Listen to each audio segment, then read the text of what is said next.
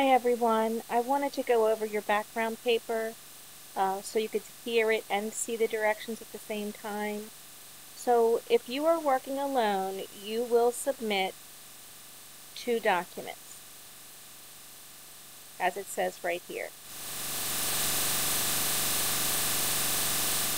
That would be your reference list and then your outline. Your reference list is separate from your outline. Do not submit them together. It slows down the grading process, and I need to have them separate also for uh, plagiarism issues. Your reference list right here has a minimum of three strong, relevant, and professional sources. And the, those sources should be looking at COVID, COVID 19, your population, uh, how your population reacts to vaccinations. What does the literature say? At the most, I will accept 12 sources. Um, as I said in class, the more is not necessarily better. I'm looking for strong, high quality sources or references. You do not get more points because you have more sources. Your po points are assigned based on the quality of the sources you are using. Your outline should include the major headings that would be appropriate for your topic. As I said, in the real world, it's highly unlikely your supervisor will ask you for a written 5 to 10 page paper on your research on a topic, but it's extremely likely that they will ask you to outline what you've learned and what you plan to do. So you're going to be researching this at the level of a 400 level class. Your outline should prepare you to actually write a paper. That's the level of detail and the depth of content I'm looking for. So make sure your outline turns out to be an outline that you could use to write a paper for a 400 level class. If it's not in depth, and I don't know what you know, then you will lose points.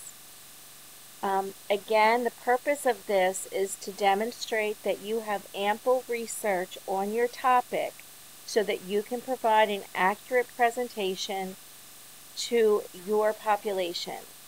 The amount of content in this outline is greater than what you put in your presentation. So just to be clear one more time, you are doing this for your population. And again, it's at the college level. There's a sample provided at the end of each set of directions. Your outline must include in-text citations from the reference list that you're submitting. So you'll have a reference list in APA format, and you will have an outline with in-text citations. Hopefully you saved uh, a book from Health 315 uh, so you know how to do APA correctly because you'll lose points for that. Um, APA 7 is easier than APA 6, but because it's just transitioning this year, I will accept APA 6. Um, and if you don't have a book, then hopefully you have a good source. At this point in time, Towson University's library is better than Purdue OWL for APA citations. We also have a librarian who specializes in the College of Health Professions, and she can also help you with your APA. You may work in groups of two to three people. um, if you choose to work with two to three people in your group, you and one other, or you and two others, I want you to review directions in the announcements on how to make group work most effective. If you work in a group, only one person submits the assignment. Um, and so the assignment will be the reference list and your outline, two documents. But everyone in the group submits the peer review form. so one person in your group submits the assignment reference list and their peer review form, and everyone in the group submits a peer review form. And this is so I can, if there's a part of the outline that is inferior to the rest, I want to know who did it. Um, and there are times when different people in a group receive different grades. When it's apparent that one or more people work at a different level than the other person in the group, it is very possible that different people receive different grades.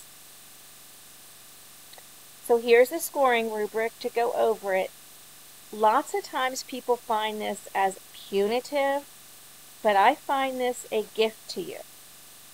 If you follow directions, if you have APA sources, and you use correct APA format, you will have acquired eight points.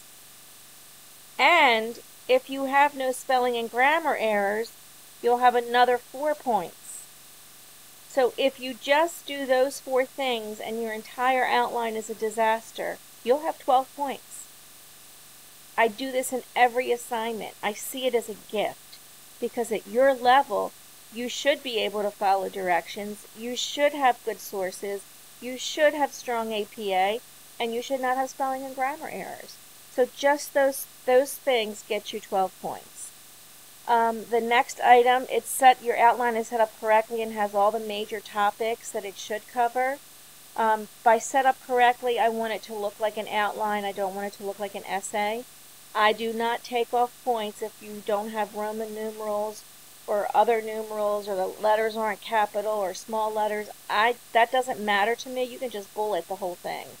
Um, I'm looking that it's set up correctly like an outline. It looks like an outline and not an essay. Um, and you have topics covered. Um, that is worth 15 points.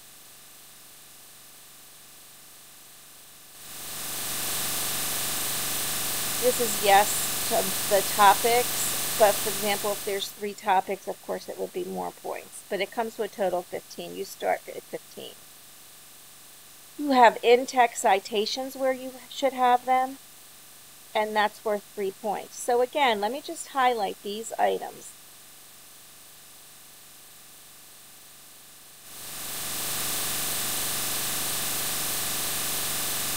These items are simply doing what a senior should be able to do in college.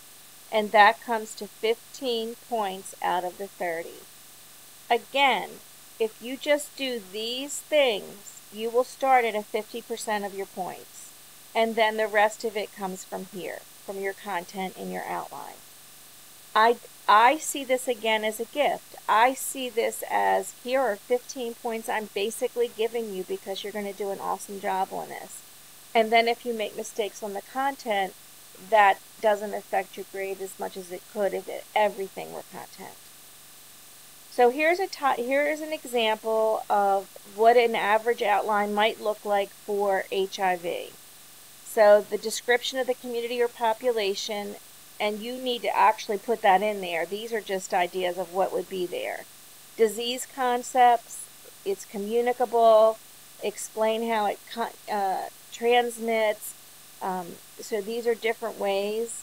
Um, historical and importance information for um, HIV, risk factors, safe sex behaviors. So I need to know that you know what you're doing. If you just said um, communicable and you didn't actually get more specific about how communicable it's spread, you would lose points. So again, this is for AIDS. It's a topic that you're not doing but I want to show you what I'm expecting from you. And so you need to think this through. And I don't tell you exactly what you need. You all have different groups. You all are taking different approaches.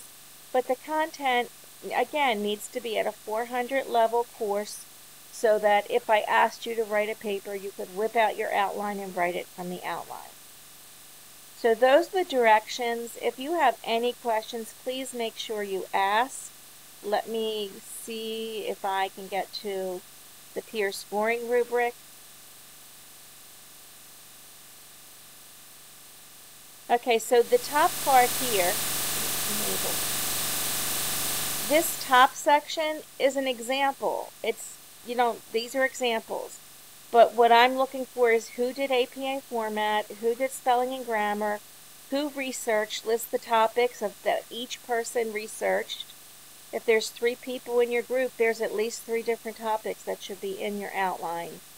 Who did the proofing um, and who made the final submission?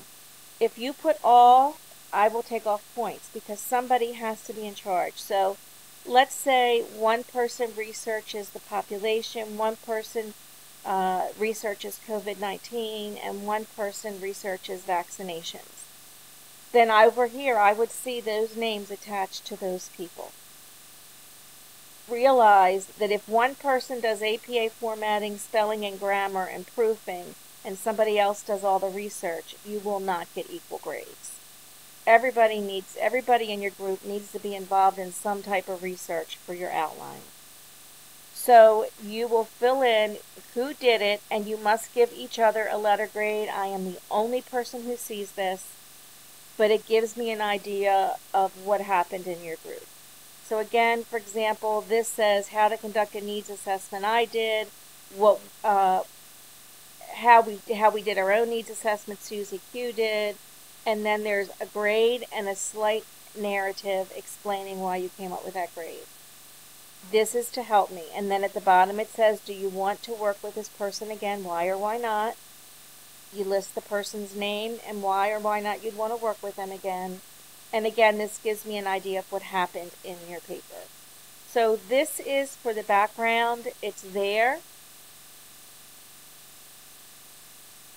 You have the scoring tool, the background peer review, and I will add this um, lecture to this area as well. If you have any questions, please make sure you ask in advance. I look forward to seeing you in class next week. Bye-bye, everybody.